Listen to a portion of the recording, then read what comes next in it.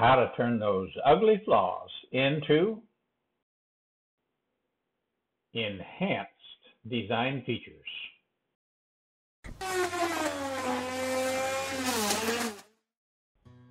Hola, woodworkers. Paul Carlson here, small workshop guy. I'm aware that many of you out there never ever make a mistake, but for the rest of us mere mortals, we need the ability to fix our woodworking flaws. As you can see, I've got some ugly flaws that I just don't want to look at for the life of this workbench, so I need to find a fix. For a really, really small gap, uh, sawdust mix with glue would be the normal plan A.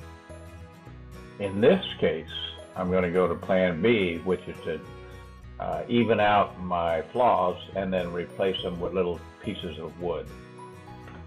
So some creative chisel work to make large enough cavities for the new wood to fit into and then give it a try. In this case, you'll see that it was even much worse than the original problem.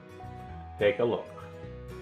This is wrong in oh so many ways, so let's go to plan C. Time to bring out the big guns. So I route out a really nice, uh, deep, and even uh, slot and then use my chisel to get that as fine tuned as I possibly can. Very helpful to use a straight edge to aid your eyes in seeing whether or not you've chiseled some straight lines. Well, I still had a problem, so I kept working at it. Next, cut a slightly oversized replacement piece to go into that slot. It's a good idea to taper the edges so that it fits in, but then as you pound down, it uh, really becomes a tight fit.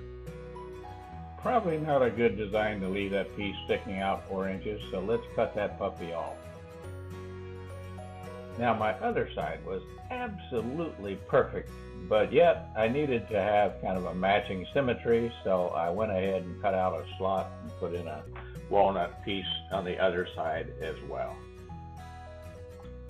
When you cut your replacement pieces, you don't want to try to make them exactly the right height because you might uh, underdo it. Better leave them a little bit oversized so that you can trim them down. Again, taper the edges so that as you pound down, it becomes a tighter and tighter fit. One of the most used tools in my workshop is my Lie-Nielsen uh, low angle rabbet block plane. I'm going to use that to trim down my oversized uh, walnut replacements. Do that on the left side here and then sand it with 60 grit and then sand that with 80 grit and then kind of check it with water and raise the grain to see uh, how, how it looks. I like the way this looks.